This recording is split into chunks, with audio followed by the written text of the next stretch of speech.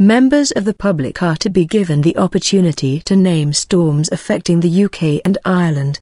People will be able to email possible names to the Met Office and send in suggestions via Facebook and Twitter. It is hoped that naming storms will help raise awareness of severe weather and ensure people protect themselves and their property before it strikes.